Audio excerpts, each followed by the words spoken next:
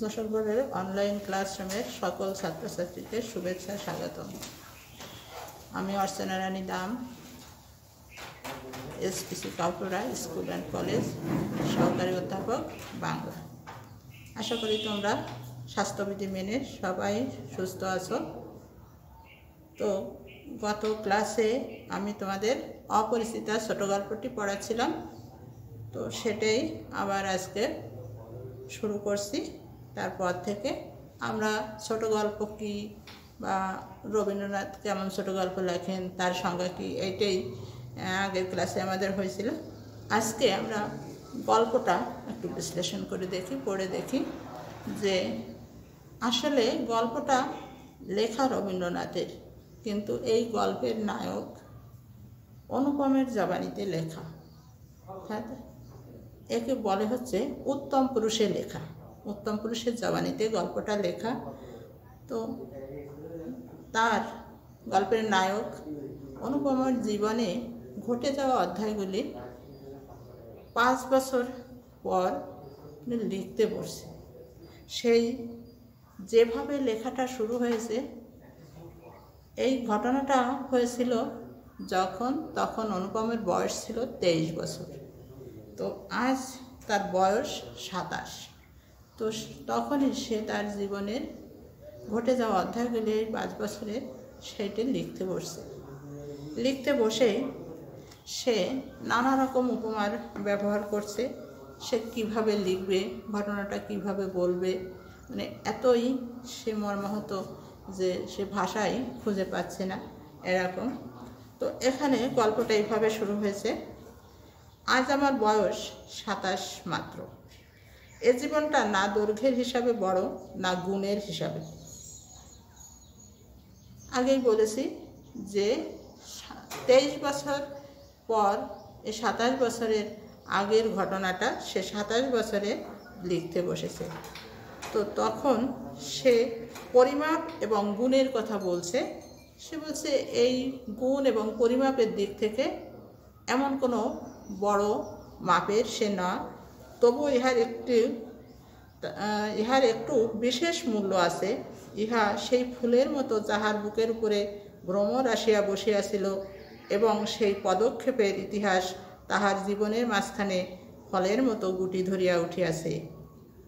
আমরা জানি ফুল থেকে ফল হয়। তা সে যদি একবারেই ফলে পরিণত হয়, তাহলে সেটা ভালো হয় না। তো আমাদের নায়ক অনুপমের জীবনটা বসছে সেই রকম যে একটু বিশেষ দিক আছে। এই জন্য সে বলতে চাচ্ছে যে পরিমাপ বা গুণের দিক থেকে তার জীবনটা খুব বড় না হলেও তার এই যে অধ্যায়টা ঘটে গেছে পাঁচ বছরে, এইটা যদি আমরা হিসাব করি, তাহলে দেখা যাবে অনেক কিছুই তার জীবনে ঘটে গেছে। সেই ইতিহাসটুকু আকারে ছোট, তাহাকে ছোট করিয়াই লিখিব। ছোটকে যাহারা সামান্য বলিয়া ভুল করেন না, তাহারা ইহার রস বুঝবেন। অর্থাৎ অনুপম, গল্পের নায়ক, বলতে চাচ্ছে যে, ঘটনাটা হয়তো ছোট, কিন্তু সেই ছোট বিষয়ের ভিতরও আমরা যদি অনুধাবন করতে পারি বিষয়টা, যে তাহাকে ছোট বলা যাবে না, আসলে অনেক কিছু এই ছোট সময়ে ঘটে গেছে। তাই বলছে যে যাহারা এই সামান্যের মধ্যে রস বুঝিবেন, তাহারা ইহার গুরুত্ব বুঝতে পারবেন। কলেজে যতগুলো পরীক্ষা পাশ করিবার সব আমি চুকাইয়াছি। ছেলেবেলায় আমার সুন্দর চেহারা লইয়া পণ্ডিত মশাই আমাকে শিমুল ফুল ও মাকাল ফলের সহিত তুলনা করিয়া বিদ্রুপ করিবার সুযোগ পাইয়াছিলেন। ইহাতে তখন বড় লজ্জা পাইতাম, কিন্তু বড় হইয়া একথা ভাবিয়াছি, যদি জন্মান্তর থাকে, তবে আমার মুখে স্বরূপ এবং পণ্ডিত মশাইদের মুখে বিদ্রুপ আবার যেন অমনি করিয়াই প্রকাশ পায়। তার ছেলেবেলার কথা সে প্রকাশ করছে। সে যখন স্কুলে যেত, তখন পণ্ডিত মশাইরা তার আচরণ দেখে হয়তো কিছু বুঝেছিল বুঝেছিলেন যে এই ছেলে বড় হয়ে তেমন কিছু হতে পারবে না বা এর ভিতর ব্যক্তিত্ব নেই, তাই তাকে মাকাল ফল এবং শিমুল ফুলের সাথে তুলনা করত। মাকাল ফল হচ্ছে কেমন? যার ভিতরটা দুর্গন্ধযুক্ত কিন্তু বাইরে দেখতে সুন্দর। তো এই গল্পের নায়ক অনুম দেখতে খুবই সুন্দর। কিন্তু আসলে সে যে কাজ করেছে, সে মাকাল ফলের মতো এবং শিমুল ফুলের মতোই কাজ করেছে। শিমুল ফুলকে দেখতে সুন্দর, কিন্তু গন্ধবিহীন। সেই রকম সে নিজেকে এখন ভাবছে। কিন্তু ছোটোবেলায় যখন পণ্ডিত মশাইরা বলতেন তখন তার রাগ হতো।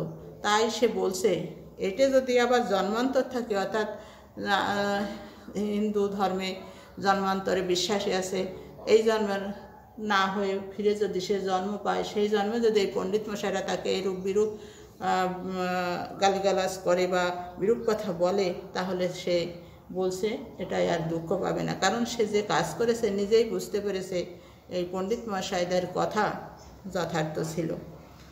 আমার পিতা এককালে গরিব ছিলেন। ওকালতি করিয়া তিনি প্রচুর টাকা রোজগার করিয়াছেন, ভোগ করিবার সময় নিমেষ মাত্রও পান নাই। মৃত্যুতে তিনি যে হাফ ছাড়িলেন, সেই তার প্রথম অবকাশ। এক সময় তার ফ্যামিলি খুব দরিদ্র ছিল, বাবা খুব কষ্ট করে সেই ওকালতি করে সে খুব প্রচুর টাকা রোজগার করেছে। তো সেই রোজগারের টাকা তিনি ভোগ করতে পারেননি। সেটা সমস্তই রেখে গিয়েছেন সংসারের জন্য। তো আমার তখন বয়স অল্প। মার হাতে আমি মানুষ, মা গরিবের ঘরের মেয়ে, তাই আমরা যে ধনী, এ কথা তিনিও ভোলেন না, আমাকে ভুলিতে দেন না। শিশুকালে আমি কোলে কোলেই মানুষ বোধ করি, সেই জন্য শেষ পর্যন্ত আমার পুরাপুরি বয়সই হইল না। আজও আমাকে দেখিলে মনে হইবে, আমি অন্নপূর্ণার কলে গজাননের ছোট্ট ভাইটি। অর্থাৎ এখানে নিজের কিছু পরিচয় দিয়েছে। তারা আগে কেমন ছিল বা মা কেমন ছিল। তো আগে গরিব ছিল, মাও গরিব ঘরের মেয়ে ছিল। যখন বাবা খুব টাকা রোজগার করেছে, তখন সে ওইটা আর ভুলতে পারে না। তো এটা জন্মসূত্রে কেউ যদি গরিব থাকে গরিব থেকে বড় হলে একটা অন্যরকম মানে অহংকার তাদের ভিতর কাজ করে সেইটা আর আভিজাত যেটা বড়র ঘরে জন্ম হয় সে ওইতে থাকে না। তো এইটে মার পরিচয় দিচ্ছে এই জন্য মা সবসময় ওই টাকা পয়সাকেই বড় মনে করে। এই জন্য আর বলছে যে, সে কীভাবে মানুষ হয়েছে? অন্নপূর্ণার কোলে গজাননের ছোট ভাইটি। অন্নপূর্ণা হচ্ছে দেবী দুর্গা। আর গজানন আর কার্তিকেয় হচ্ছে তার দুই ছেলে। গজানন হচ্ছে বড়, অর্থাৎ গজের মতো আনন্দার। গজ হচ্ছে হাতি, হাতির মতো মুখজার তো গণেশ আর কার্তিক। কার্তিক তার ছোট। তো এই এত আদরে মানুষ হয়েছে যে অন্নপূর্ণার কোলে গজাননের ছোট্ট ভাইটি বলতে এখানে কার্তিককে বোঝানো হয়েছে।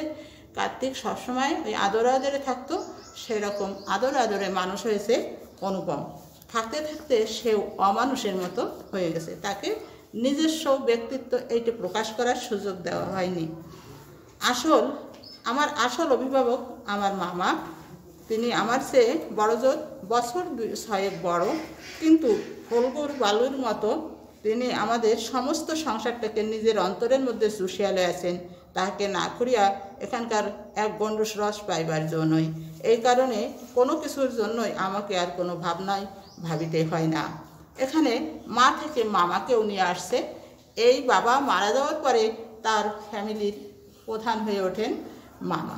এই মামা আর মা দুইজনেই টাকাকে খুব প্রচুর ভালোবাসে। মামা কেমন? ফলগুর ধারার মতো একটা দেওয়া আছে, এটা হচ্ছে গয়ার কাছাকাছি একটা নদী। সেই নদীতে উপরে রাস্তারণ থাকে, হচ্ছে বালি, ভিতরে জল থাকে।